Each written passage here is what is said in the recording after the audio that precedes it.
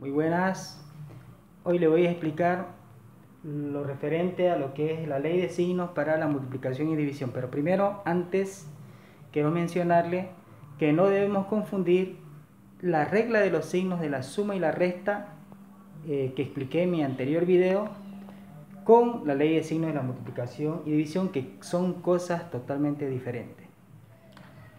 Bien, eh, en la ley de signos de la multiplicación y la división tenemos esta reglita, esta ley de signos, fíjense, más por más, más, menos por menos, más, más por menos, menos y menos por más, menos.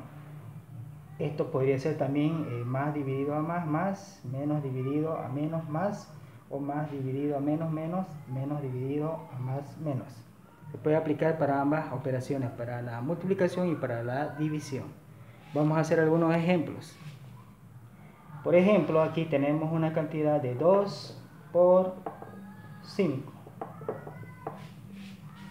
Eh, también aquí tenemos que recordar que en un anterior video ya mencioné que el signo de un número se encuentra a la izquierda del número. En este caso no tiene, ¿no? No tiene signo, pero también hemos dicho que el signo, el número que no tiene signo, se sobreentiende que es positivo es decir, tiene un signo positivo a la izquierda, tanto el 2 como el 5. Entonces, ¿qué es lo primero que tenemos que hacer cuando tenemos una multiplicación de dos cantidades? Primero es multiplicar el signo.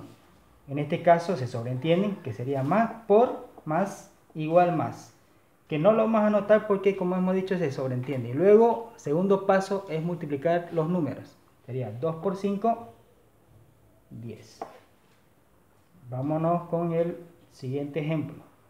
Menos 2 por menos 5. Para esto este, nosotros podemos acomodar un poco y ponerle paréntesis para que esto no nos confunda y genere un choque de signos eh, de operación en este caso. Ahora, como hemos dicho, multiplicamos siempre primero los signos, es decir, menos por menos nos da, según la tabla, menos por menos, más. Entonces el resultado va a ser un positivo, que no se va a notar que se sobreentiende, como hemos dicho anteriormente. Luego el número, multiplicamos los números, sería 2 por 5, 10. Muy bien, seguimos avanzando con más por menos. Tenemos eh, vamos a poner este, el mismo número por menos 5. Estoy poniendo paréntesis que como dije, para que no haya ese, ese choque de signo.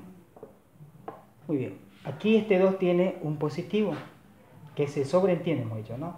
Y este 5 tiene al lado izquierdo su negativo. Entonces vamos a hacer la multiplicación primero de los signos.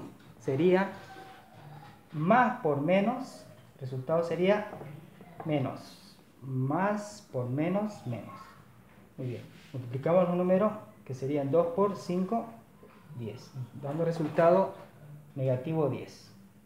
Vámonos con el último ejemplo que sería menos 2 por 5. Muy bien. Como he dicho que es signo, no, no le vamos a colocar este paréntesis. Primero hemos dicho que se multiplican los signos, por lo tanto menos por más, que se sobreentiende que a la izquierda del 5 hay más, menos por más, menos. Y los números luego, 2 por 5, 10. Y de esta forma cumplimos con, el, eh, con la ley de signos que nos dice que es menos por más, menos. Menos por más, menos. Esto ya aplicándolo a la multiplicación con números eh, enteros, ¿no? Muy bien. Esta operaciones se pueden realizar con todo tipo de números, ya sean en este caso números naturales, números decimales, números fraccionarios o números algebraicos, ¿no? O cantidades algebraicas. Entonces, aplica para todo. Y aplica también para la división, si fuera eh, eh, un número dividido a otro número, ¿no? Igual se aplica la ley de signos primero y luego se ejecuta la división. En este caso hemos ejecutado ejemplos de multiplicación. Espero que este video les ayude y puntualizar que no hay que confundir la regla de los signos de la suma y de la resta con la ley de signos de la multiplicación y la división porque son cosas totalmente diferentes y que comúnmente nosotros en matemáticas eh, cometemos errores y no nos cuadra el resultado por, obviar estas cosas, evidentemente. Bueno, eh, suscríbanse a mi canal y apóyenme en el contenido. Eso fue todo y espero que les haya sido de utilidad.